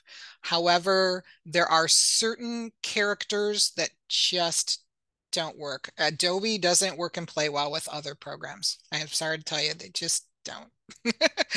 uh, so sometimes that plus or minus sign, it just cannot read that character. Um, and there are some other examples that I can try to come up with. So I'm going to share some PDFs here. Um, so this is a PDF that Teri was working with in Word. And I thought I would take you through the steps if you have full Acrobat. So Reader doesn't allow you to do this. You do need access to full Acrobat to run an accessibility checker. You um, may not have the accessibility checker set up like I do as one of the common tools that I use. So I'm going to show you how to get to the tools. Up here in the top, whether you're on a Mac or PC, you have this home and tools. You can go to tools and you need to scroll down to accessibility. Click on that and you'll have a new menu on the right. You want to click the accessibility check. There's a check mark next to it. And you should get this pop up for accessibility checker options. Now, depending on the minimum digital accessibility standards at your school for what you would have flagged here. Our school flags them all. So I'm going to go with that. Tell it to start checking. And over here on the left, it pops up the problems are bolded. If you click the little caret that's on the left, you can get a drop down under each section for what might be an issue. In this particular document, the logical reading order has a question mark. It is required that you fix things with the red X. It is strongly recommended to fix things with the blue question mark. But again, minimum digital accessibility standards at your school can determine whether or not you need to do this. Okay. You can, if you're mm, mildly OCD like me, tell it that it passed if you're trying to get it off the screen. Um, the color contrast again is something you would manually check and isn't gonna run through it for you.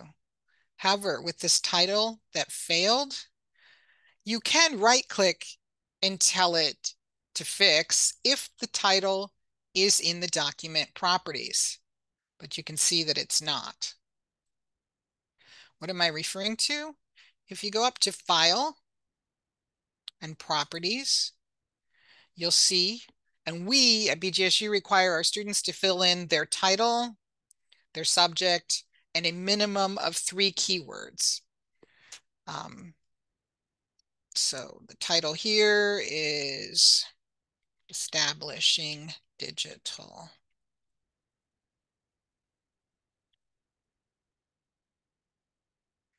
And we have Teri's name here.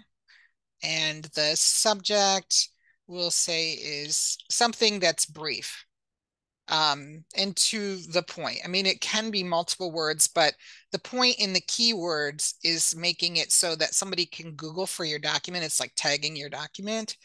Um, the subject wouldn't necessarily be repeated in the keywords. So I'm saying technology. The example I always use when I'm teaching this to our grad students is I'll I usually do something I play trumpet.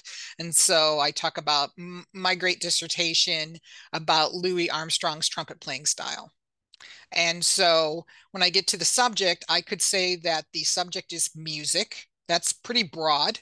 I could get a little more detailed and say jazz music, and that would help rein in my subject a bit. Um, trumpet playing style is really what I'm talking about. But then again, I'm probably going to be using trumpet and other things in the keywords, which is going to make it a searchable document. Um, I'm hoping that that is making sense for everyone here. So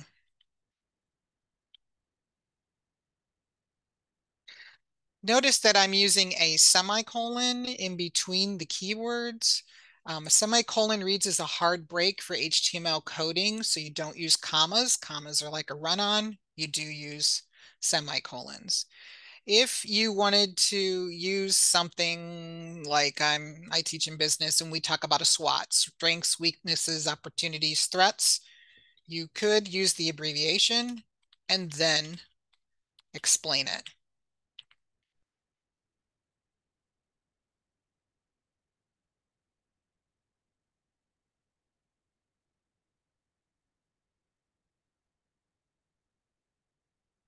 So once that's filled in, now when I tell it to fix it, it automatically fixes it because it can find that title. The next example it's talking about is an alternate text issue for figures.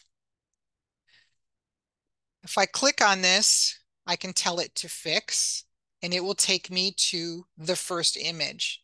Now, this is something you should be showing your students how to do because they're the best person to describe the alternate text of your figure. Um,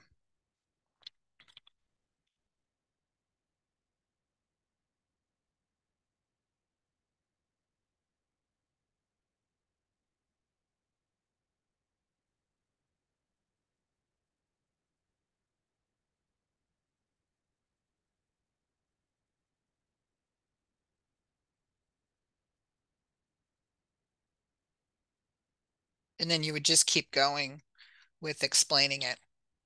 Represents, you know, and you could say they have a hat on or whatever you need to do to get it described, but that's cataracts. And then I would say the one on the right is a distracted driver and shows a person um, in front of a steering wheel. Kim, there was a question in chat. I'm not sure if Teri meant it for everyone or to ask you directly. Um, but uh, the question was, uh, if the PDF is full text searchable, why would you put it in, put in keywords? Um, because this is what allows the document to be searched by Google or in um, wherever your repository is. Um, it's like the main terms if I'm looking for somebody's thesis about um,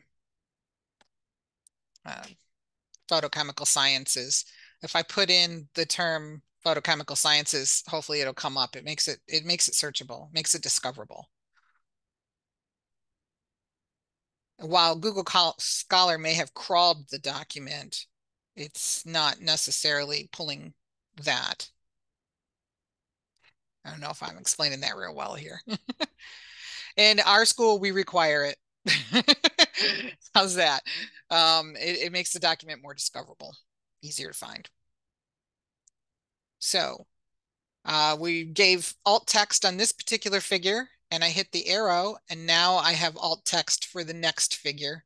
And you would go through the same thing to describe and type in the alt text and it would keep going if there were more images. And when you're done, you say save and close and it auto fixes it for you. Now, of course, on that second one, I didn't give the best alt text. I mean, let's be real. If I just typed something in quickly. So if I click on over here on the right, the reading order, I get a new pop-up that allows me to get in here and view different, hopefully, it's tagged correctly. Yep, it's going to argue with me because it says text paragraph. Let me save the document and then maybe it should work. And this is the kind of thing I deal with every day. Here we go. Edit alternate text. So I had to save it. And you can see here what they've typed. When you scroll through it, if I even close this, I can hover over it to see what they've typed. But the problem is, is that is not good, legit alternate text. Does everybody agree? So you can see when something is auto-generated. While it may pass, it's probably not the rest, the best alt text necessarily. And it's good to check for this to see if they just did auto-generated. I've seen things that's like a, a, a picture of a bunch of balloons going up in the air and it said it was a fruit basket. and that's because Word did auto-generated text. Um, so make sure your students are describing their objects. Kim? Yes. Yes. Um, sorry to interrupt. No. Um, I, I just wanted to um, uh, let you know that the, the PDF that you have open right now was based on my the first word that was Yes. completely unformed. Okay. Okay. Yes. Um, I'm but I'll show you the curious to- next one soon. Good, okay. I'm curious to see what actually made it through versus what's still being a thorn in our sides. And something else that I should explain is that if you have to auto tag a document, um, and if we have enough time, I, I'll share some other documents so that I can show you what I mean by auto tagging. If you have to auto tag a document, everything that someone has done in Word is going to go away. So if you auto tag a document, you lose all the alt text for the figures, all the table summaries, things like that. Um, ask your students to keep both the original Word or original LaTeX and original PDF. And now the LaTeX and over we use Overleaf and, and it outputs as a PDF for our students. So they have to do all their work from PDF in the first place if they've started in LaTeX. Um, but keeping a list of those alternate texts so they can just copy and paste them back in is super important. We'll also tell you, um, especially because I know Larry does a lot of LaTeX here. um, if you auto tag a LaTeX document, um, and it has several equations, often it can add these gigantic parentheses in the equation in a place that it doesn't belong, like through the middle of a number. Um, and there's no way to just use the edit tool and get it out. So you don't always want to, you, you know, have them, if they auto tag it and it causes more problems, make sure they have a previous version saved so that they don't turn in the one that's worse. Sometimes auto tagging fixes things, sometimes it doesn't. So it's kind of a crapshoot. And again, if we have some time at the end, I'll try to show some other examples of what I'm talking about and how it can make things worse. And just as a point of note for that as well, there's about 15 minutes left in the, the time period. So just make if you have Thank time you. for questions, what you need. Thank you. Um, so I just wanted to go over tables quickly.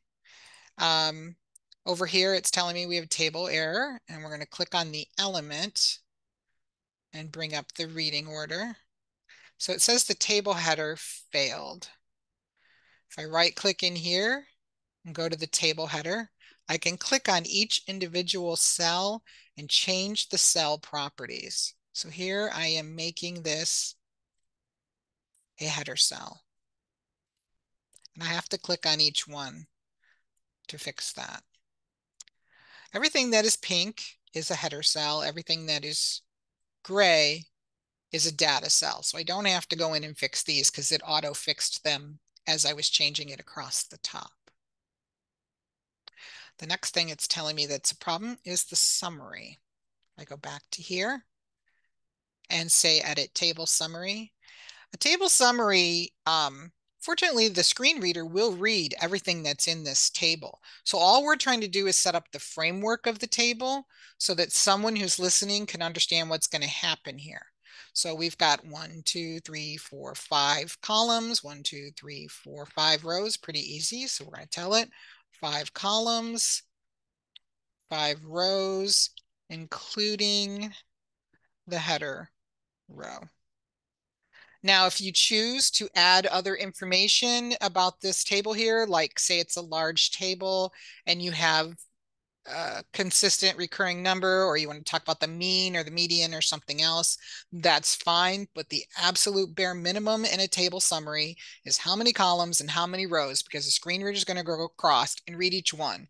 And the person will be able to picture this table in their head from that basic framework that you've told them for the table. If a table is on multiple pages, please have your students remember to repeat the header row on each page. And it will make them say how many rows and how many columns for that table on the page. So they can say table continued, how many rows, how many columns, including the header row again. And quickly, I wanted to share another version that Teri shared with me of this document. This is the version that she had made accessible in Word. So again, I'm going to go to Tools and Accessibility and tell it to start that check.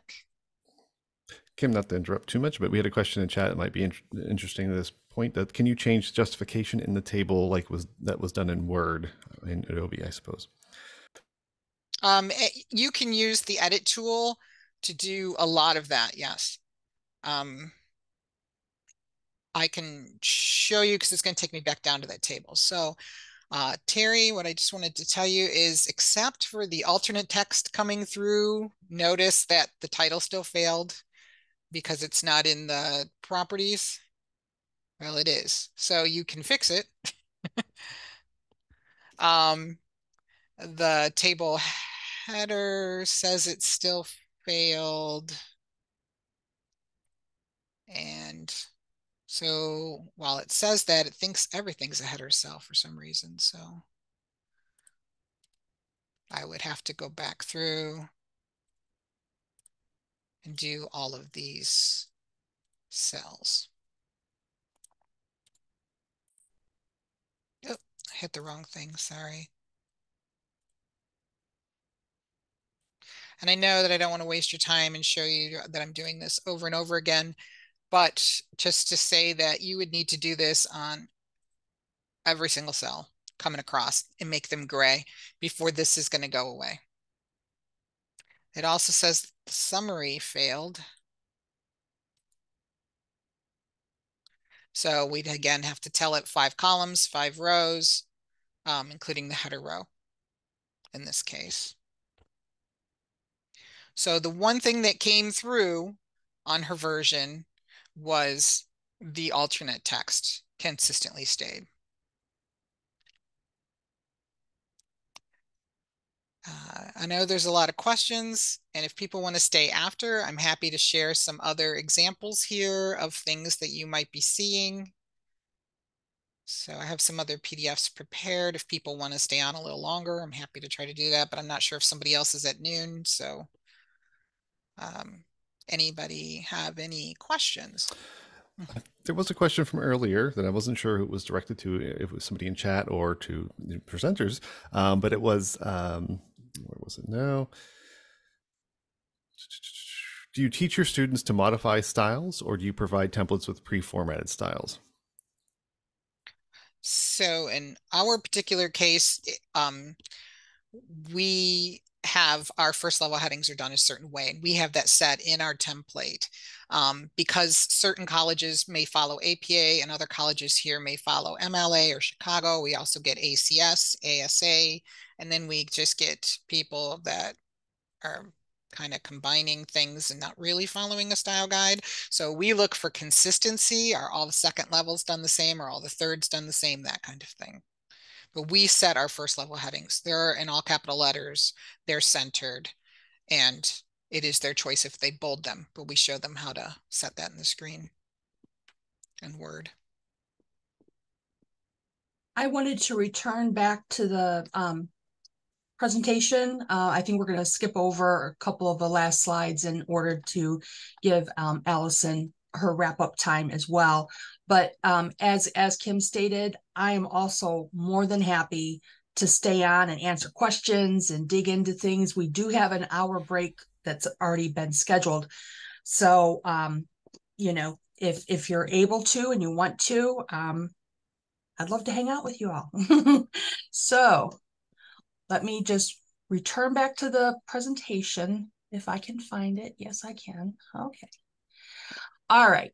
So we kind of, I think we leapfrogged over a couple things, but that's okay. Um, and I think something that we also already know from our various, you know, um, focus groups and things like that is that um, Adobe is really it's very challenging to use for a variety of reasons, uh, not the least of which is its inaccessibility to students because of cost, uh, availability, um, you know, etc. So um, a lot of the checking and guiding and doing that work on the on the back side of things does fall on the ETD practitioner, which, as someone noted in the uh, in the chat, is just extremely time consuming. Um, so, um, so really, you know, when we're talking about refining, um, you know, we need to think about where do we go from here. So I'm gonna let's think about technology. What's new? What's obsolete, right? You can't you can't play a Betamax tape on a CD player, okay? um, you know, does it have backwards compatibility? I'm using one version, you know, of of of Microsoft Word, and then there's newer stuff, and you know, uh, things are not necessarily in the same places, and it can take longer. Um, are you an early adopter? right? Do you have your eye on the horizon to see what's coming? Um, training, right? I recommend go straight to the source, right? If you need to know about how to work with with Microsoft Word, go to oh I forgot to put Word in there. go to Microsoft, um, go to Adobe, go to the government. Um, their um, their tutorials and information are surprisingly accessible, readable. Um, it kind of gives me a little bit of hope. so, but also avail yourself. If your institution offers LinkedIn Learning, they have uh, wonderful you know training modules um, your school's it maybe the office of disability if you have an online learning division um, a center for teaching so explore these other campus partners who may be already working on a similar issue um, and see if you can't join forces and um, everybody benefit from one another. Um, and I'll conclude by talking about teamwork, right?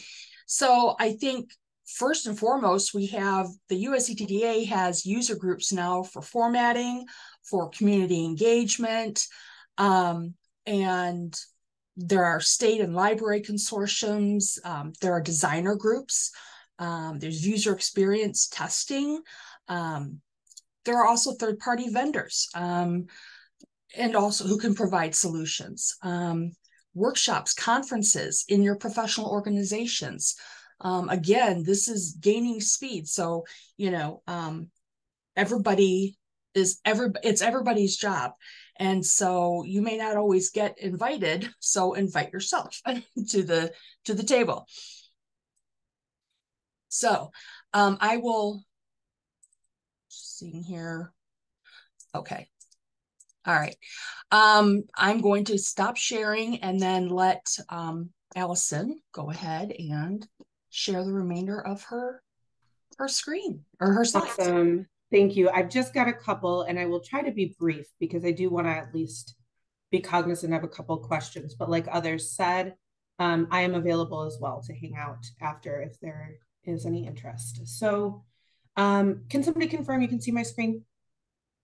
Awesome. So we talked a lot about at the beginning about kind of defining this problem, what's happening in the marketplace, what are institutions doing um, with this challenge around providing the most accessible content as possible. And uh, at ProQuest, we, we really want to partner. We want to be able to provide support and resources um, similar to what you've been given here in this workshop. We, we want to um, provide you with the tools you need to do this work that you know you needed to be doing yesterday, right? Um, and so the first the first step in understanding what what we should consider looking forward, how we can provide resources and solutions, um, is is talking to you all. So partnering with uh, some thought leaders, some some people that are doing great work on on the forefront um, of this initiative. Uh, some of the people on this call are, are part of this community. So we had 12 individual participants uh, cross-functionally, so library, graduate studies, with experience in various facets of digital accessibility, from, from doing the work at a really detailed level to implementing student-led kind of policy change and rollout. So a lot of different views from 11 institutions, uh, diverse in institutional type, geographic region, and um, student population size. We have so far met three times, had really, really great working sessions, really robust conversations to establish some best practices and sort of um, find a North Star, determine where we, we want to go. Um, and we've established a quarterly meeting cadence to continue the discussion as um, things change and and the topic of accessibility advances. Um, but we did come up with a sort of a best practices document. So some some standards that are really really detailed, right? So what what where do we want to go? As Teri said, there's never going to be a hundred percent accessible document. Um, but what can we kind of run through as a checklist and say, okay, if a document has these features and and their quality features um, you know that we're doing pretty good um, so so establishing that sort of standard and then looking ahead so where do we want to offer a solution? Where can we be of service?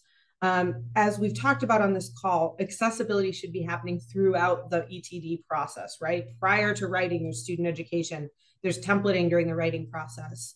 Um, but what we're considering at the moment is um, ProQuest being able to, to be of service at this point, sort of to the right of this dashed line, right? So future consideration includes integrating an accessibility checker in ETD admin, um, our submission tool. So something that's part of an existing workflow for an administrator, um, a tool that's easy to use, that, that can inform and really help simplify and expedite this work. Um, and to hear more about that, uh, we do have a session uh, tomorrow afternoon with a roadmap review. So if you want to learn more about that feature and others, um, I'd encourage you to attend. Um, and and post submission, right? We accessibility is a, a relatively new thing, and we're sitting on these these large back files of PDFs where accessibility wasn't even a consideration. And so right now, a service that we do offer, a paid service, is that we do um, remediate back file for institutions. So we're approached by institutions that want their their back file remediated and we we can do that on a project basis. So again, if that's something that there's an appetite for at your institution, happy to talk more about that. And finally, I just want you all to, I want to invite you to join the conversation. We are always learning at ProQuest. There's always um, uh, more to hear about. And if you're thinking about best practices, where to start implementation at your institution, I would love to chat with you about that. Likewise, um, if you would like to help inform future solutions, if you have thoughts about this accessibility checker, or you think, I know what ProQuest could do that would really, really help us, those are discussions I, I would welcome, um, and I'd love to hear from you. So I do have my contact information included here. Um, I believe it's in Teri's deck that was sent out as well. And so I will wrap up. I'm sorry, we have like a minute for questions, but thank you so much. Well, thank you, everybody. Um, I, and again, if you have to get going here at noon, we are going to stick around for a little bit to answer any other extra questions we have, but this will be recorded and shared. Um, but wonderful presentation. Um, so thank you. Uh, I guess going back really quickly, there's one question I saw that somebody asked, uh, Megan asked in chat. When you're doing a format check for a student, are you only running the checker or are you reading the alt text submissions to make sure it doesn't say chart? And as a secondary part to that, I, I questioned earlier about has anybody who's instituted some of, or implemented these these sort of uh, accessibility checks and processes and changes to that to have you've done a turnaround time sort of uh, analysis to say how much has the process increased in time uh, or how much more labor have you had to put forth comparing to what it was prior to having accessibility integrated into your checks? In our particular case um, with adding the accessibility checks i would say um, we don't read our theses and dissertations word for word.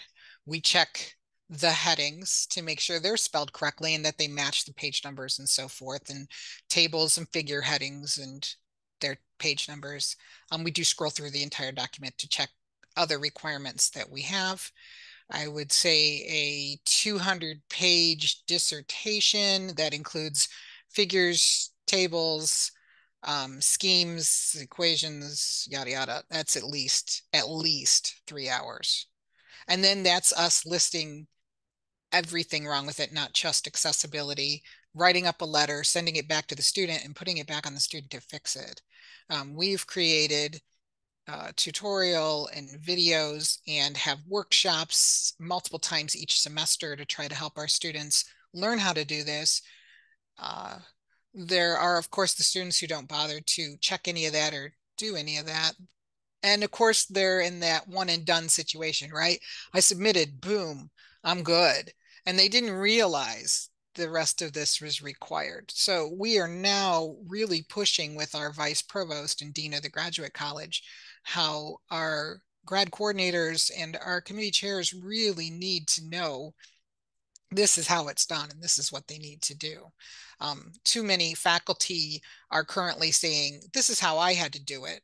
Yeah, but they went to a totally different institution and that was 20 years ago. So it's a, whole other ball game now. And uh, so, yeah. There's some other questions there for you, I guess. Uh, how many ETDs on average do you uh, review each semester? And um, do you also charge a fee for dissertation support or in general? We do not charge a fee. I have myself and um, a a 10 hour grad assistant and a 20 hour grad assistant that helped me with this work. Um, at, at UToledo, um, we, Kim's laughing because we're on our like fifth interim acting dean in as little as three years. But anyway, I digress.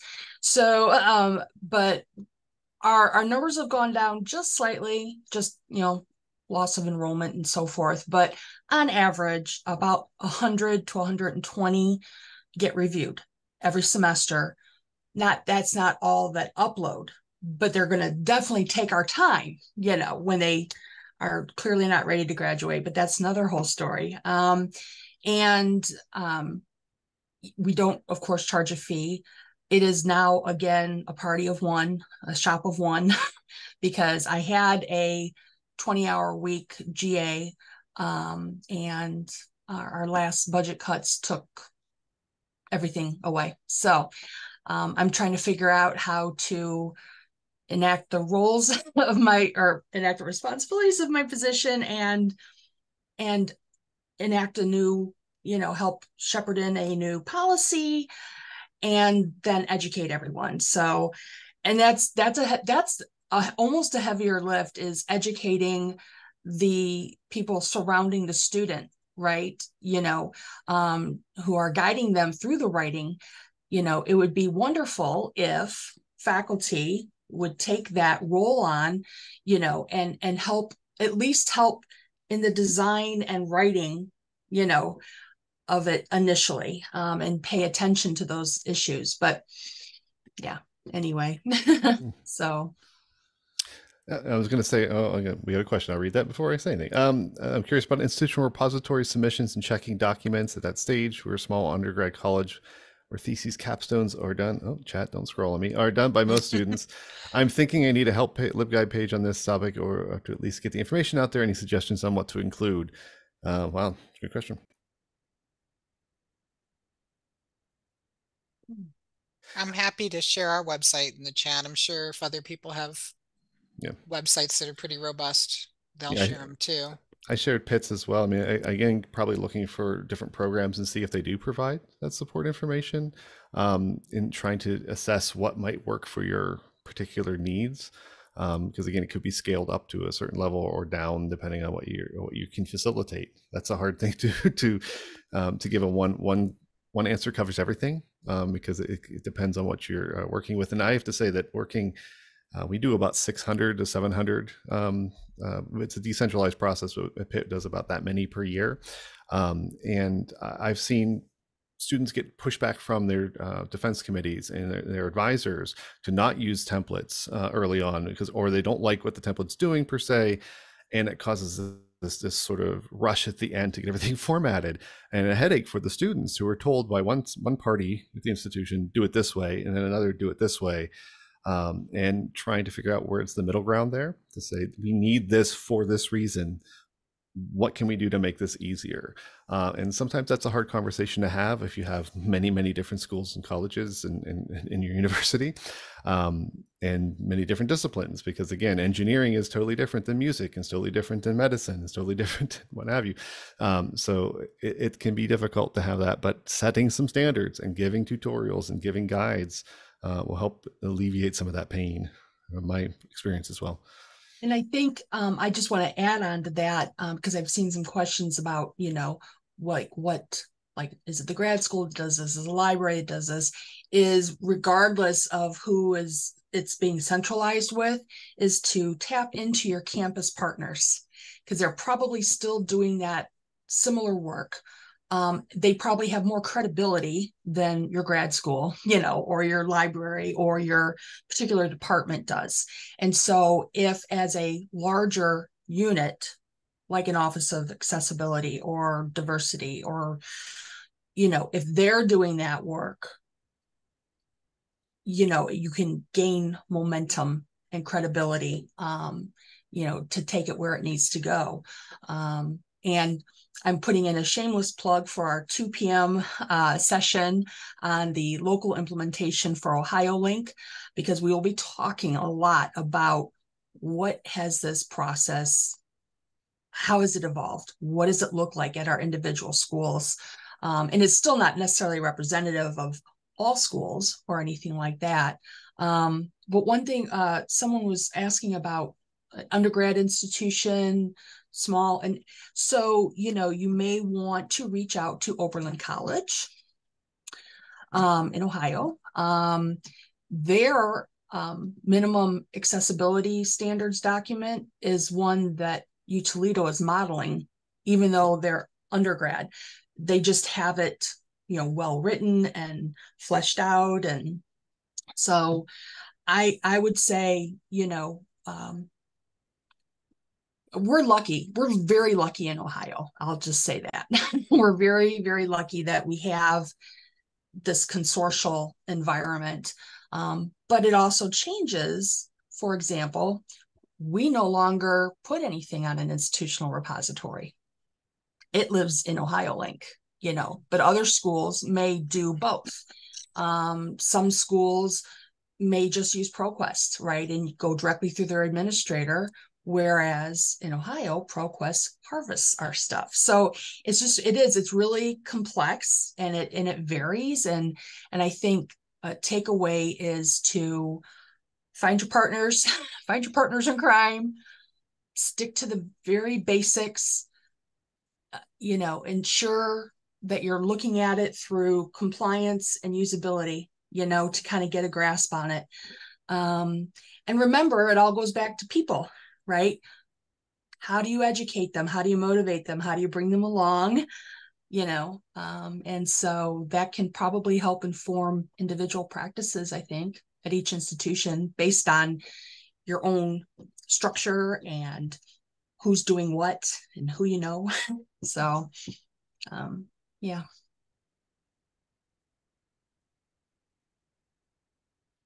Um, John, was there any other kind of questions or anything that you think people wanted to have answered? Just trying to say, I, I know I saw somebody uh, give a comment about they hire proofreaders. Uh, Kathy in chat said that to do that, but then they asked if they could maybe do the accessibility review process. I would say that's probably not going to be feasible for the proofreaders because that's a different skill set for the most part. They're looking more about the the context or the, the content, if you will, rather than the formatting and accessibility. So it would be a, a different hire uh, if you're if you're doing a third party for that. So that might be interesting. And uh, somebody asked me if we're still using ePrints. we're shifting to uh, Hyku for consortia um, quite soon. But yeah.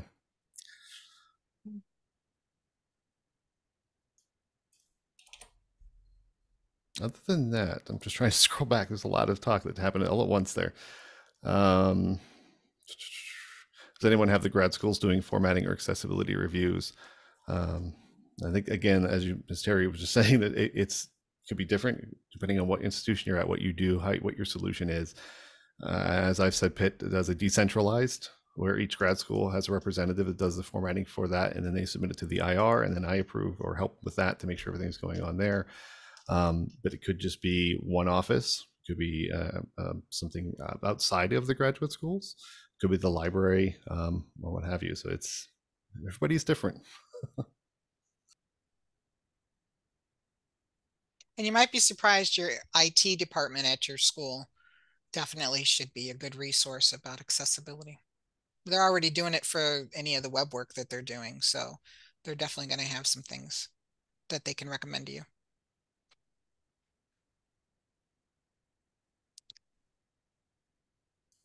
Well, thank you all for yeah for for the wonderful workshop.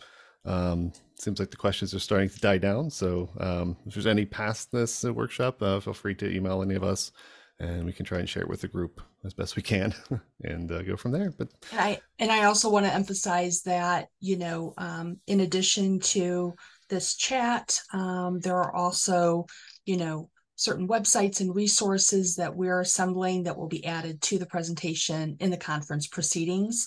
Um, we weren't, I, I shouldn't say we, I was not fully prepared to, you know, and there wouldn't have really been time anyway. So um, my goal is to add to the current takeaways and at least provide soft places for people to land on their journey, you know. Um, and again, thank you everybody for for your time this morning. I know for some of you it's quite early still. Um, I haven't even finished my coffee. Where is it? There it is. Okay.